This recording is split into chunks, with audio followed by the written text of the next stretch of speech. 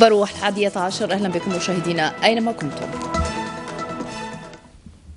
بداية وممثلا لرئيس الجمهورية السيد عبد العزيز بوتفليقة يشارك وزير الصناعة والمناجم يوسف يوسفي ابتداء من اليوم بشرم الشيخ بمصر بأشغال منتدى أفريكا 2018 المنتدى الذي يهدف إلى تطوير التجارة وتعزيز الاستثمار في إفريقيا ورفع من نسبة الاندماج الإقليمي يبحث أيضا المسائل المتعلقة بريادة الأعمال وتمكين المرأة من اتخاذ القرارات.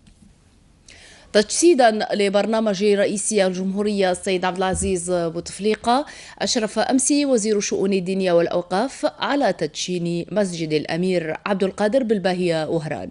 هذا الصرح الديني الذي اعتبره الوزير رمزا للأخوة بين الجزائر وتركيا حيث تم نقل صلاة الجمعة منه على المباشر عبر التلفزيون الجزائري وتمحورت الخطبة حول موضوع العيش معا بسلام.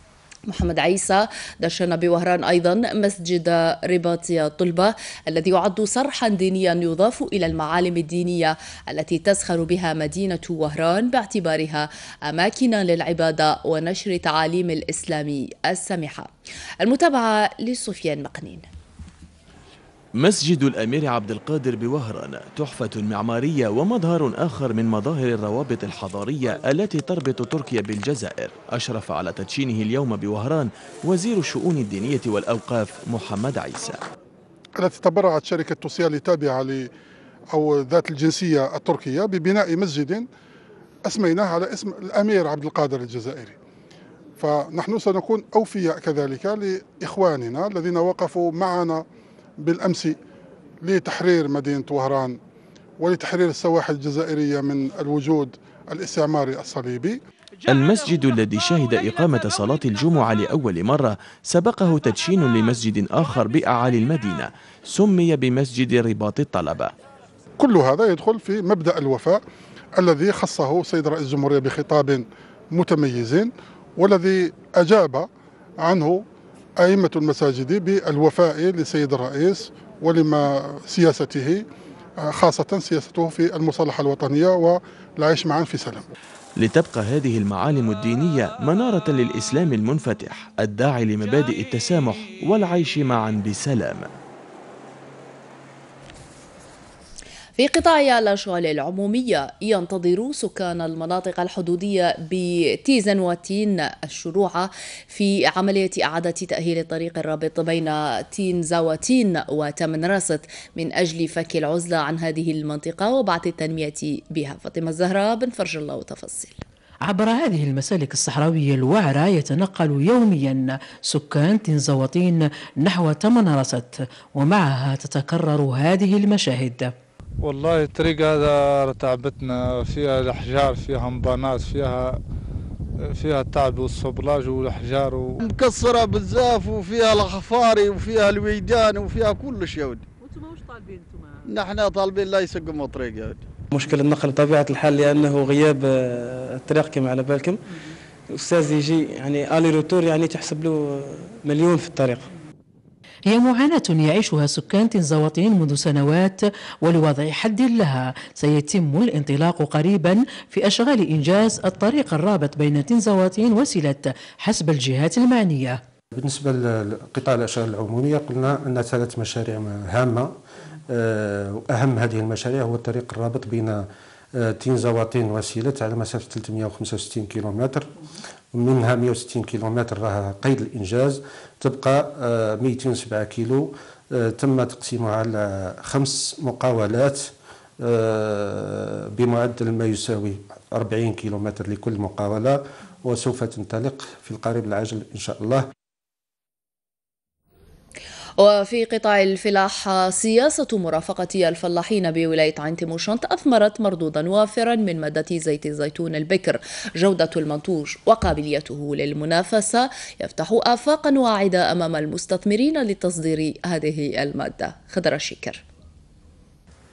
تقدر المساحة المغروسة بأشجار الزيتون بولاية عين مشنت بأزيد من عشرة ألاف هكتار. منها سبعة ألاف وأربعمائة هكتار مساحة الأشجار المنتجة بمعدل كمية إنتاج تفوق المئة وثلاثين قنطار توجه لاستخراج زيت الزيتون البكري الممتاز. زيت الزيتون عندنا من 12 حتى 14 لتر في آه، الهكتوليتر. أي 17 من 12 حتى 17 لتر في القنطار. هذا حسب الأصناف الموجودة. ما يخفيش عندنا الأصناف الموجودة هي سيغواز وعندنا الشملال وهناك صنف ثاني أربيكينا وصنف ازراج وصنف آخر مونزونيل. العام اللي فات درنا واحد الإنتاج تاع 8000 لتر تاع زيت الزيتون بكر ممتاز لا فياج إكسترا. وهذا العام إن شاء الله رانا نسيو نديرو بين 10000 حتى 12000 لتر. ورانا نحاولوا مستقبلا إن شاء الله نقتحم باب التصدير. إنجاز تحقق بفضل مختلف التدابير التي وفرتها الدولة لتشجيع زراعة أشجار الزيتون والنشاطات المهنية المرتبطة بهذه الشعبة والتحدي الأكبر قائم لتوسيم المنتوج وتصديره إلى الخارج. وتوصلنا وين خرجنا une distinction commerciale وكنا إحنا تكون على مستوى جهوي وتضم كاع الولايات والولايات اللي بغات تدخل مرحبا بها. bon بقات لنا اليوم راه باقي لنا غير حاجة. donc باش ال produit نتاعنا ينباع ما ينباعش في إطار جمعية. لا. donc كيفاش قلنا نمشوا لازمنا إحنا محكوم علينا باش نديروا دي كوبيراتيف تعاونيات. دخلنا في في الجودة تاع الاتحاد الأوروبي. وطاونا شروط باش نخدموا باش نديروا السلعة في لومبالاج وباه نديروا الزيت زيتون في القرعه تاع الزاج. ويراهن المزارعون على النهوض بهذه الشعبة وإكسابها قدرة تنافسية بعصرنة أساليب الإنتاج وجودة المنتوج. تنهي وزارة الداخلية والجماعات المحلية والتهيئة العمرانية في بيان لها إلى علم المنتخبين المحليين الراغبين في الترشح لانتخابات التجديد النصفي لأعضاء مجلس الأمة المنتخبين والمقررة في التاسع والعشرين من شهر ديسمبر الجاري. بأن آخر أجل لإيداع ملف الترشح هو غدا الأحد الموافق للتاسع ديسمبر 2018 على الساعة الرابعة والنصف مساء وذلك طبقا لأحكام المادة 114 من القانون العضوي رقم 16 عشرة والمتعلق بنظام الانتخابات. إلى أخبارنا الدولية وفي الشأن الصحراوي أعرب الاتحاد الأوروبي عن جاهزيته للمساهمة في الإجراءات التي من شأنها خلق جو إيجابي لأجل تسوية النزاع في الصحراء الغربية. وأكدت الناطقة الرسمية باسم الاتحاد الأوروبي في تصريح لها عقب انعقاد المفاوضات بجنيف السويسرية حول النزاع في الصحراء الغربية أن انعقاد طاولة المفاوضات الأولى بجنيف حول الصحراء الغربية قد شكل أول اجتماع خلال ست سنوات من المحادثات المباشرة مؤكدة أن هذا يشهد على المجهودات المتجددة للأمين العام للأمم المتحدة ومبعوثه الخاص من أجل تسوية النزاع في الصحراء الغربية وجمع طرفي النزاع والدول المجاورة في إطار روح الانفتاح والاحترام المتبادل.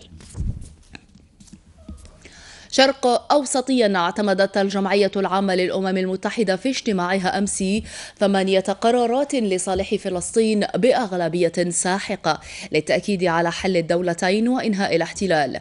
بما في ذلك القدس الشرقية وكانت أبرز القرارات الممارسات الإسرائيلية التي تمس حقوق الإنسان للشعب الفلسطيني في الأرض الفلسطينية المحتلة والمستوطنات الإسرائيلية وحماية المدنيين وقت الحروب. إلى فرنسا حيث تجمهر منذ الساعات الأولى من صباح اليوم. مئات المتظاهرين من السترات الصفراء بساحة الشانزليزيه في العاصمة باريس لمواجهة احتجاجاتهم وذلك للسبت الرابع على التوالي.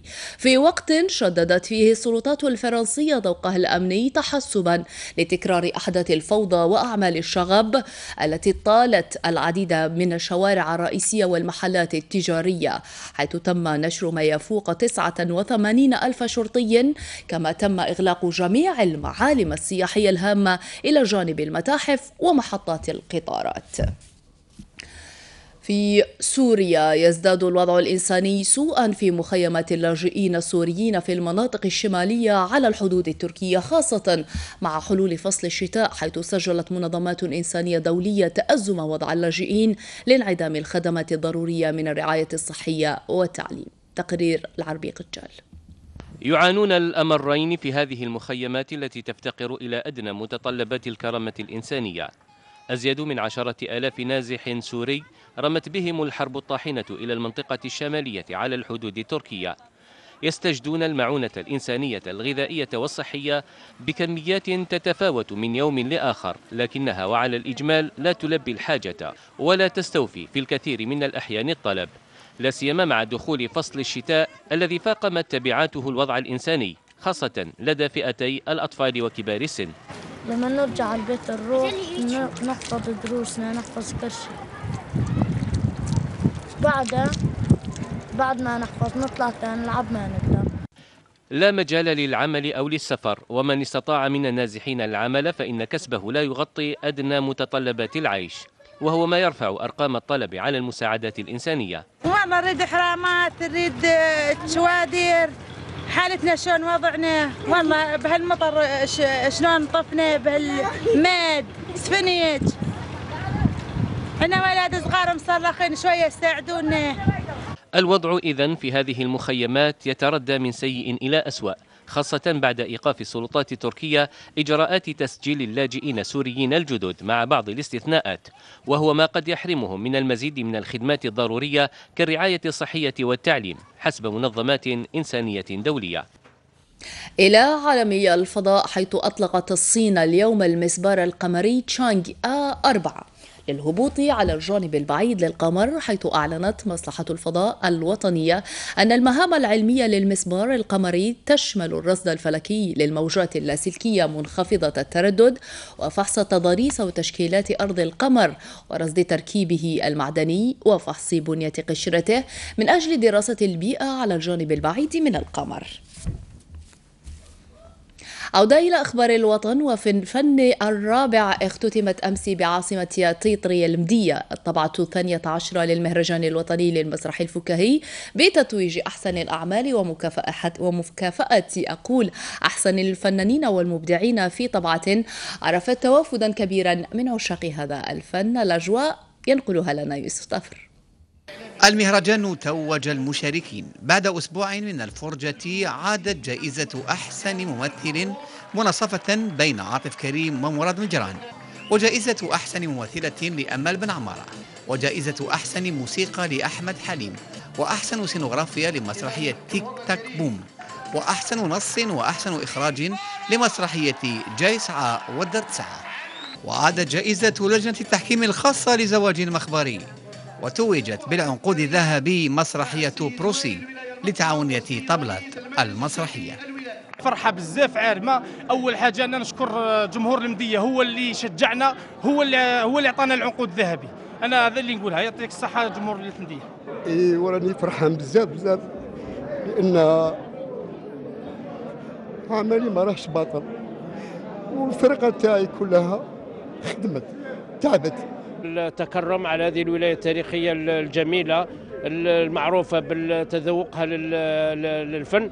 يتكرموا عليها بمسرح جهوي يضع معاناة لهذا الجمهور اللي ما قدرش يدخل للقاعة لأن الجمهور تاع المدية معروف من زمان بالمسرح بالفن بالحضارة بالثقافة. هو عنقود بمذاق الذهب وذوق الثقافة والفن الرابع هي ليلة التتويجات والاعترافات. وكل سنة والمسرح الفكاهي بخير وعاشت المدية عروسا للمرح.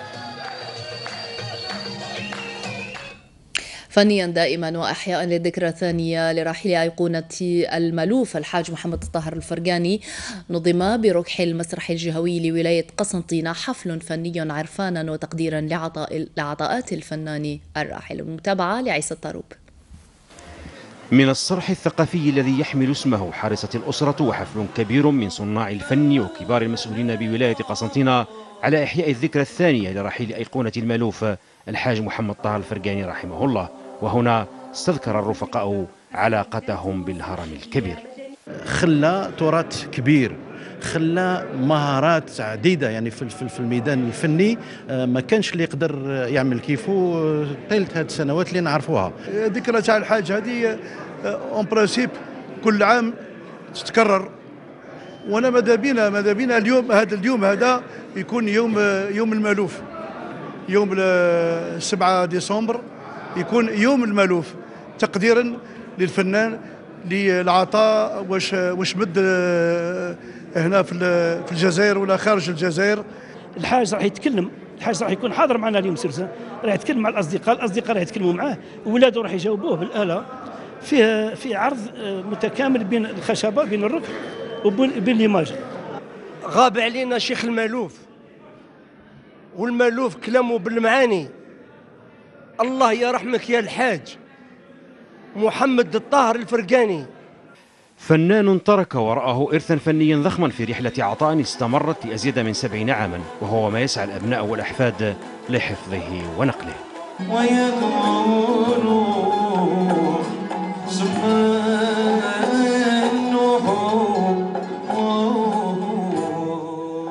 وخلانا مسؤولية. أنا كدوري كحفيده كحفيده أنا راح إن شاء الله راح نكمل في هذا المشوار باش يبقى ديما الفن تاعنا الجزائري بخير وعلى خير إن شاء الله. بالمناسبة تم تكريم رئيس الجمهورية بساعة المرحوم اعتبارا أن الوقت هو أثمن ما في الوجود والزمن وحده كفيل بحفظ إرث الرجال.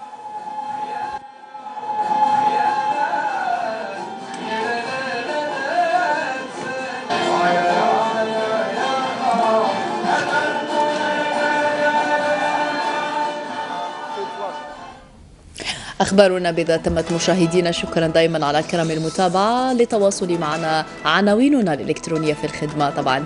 شكرا لكم وإلى اللقاء.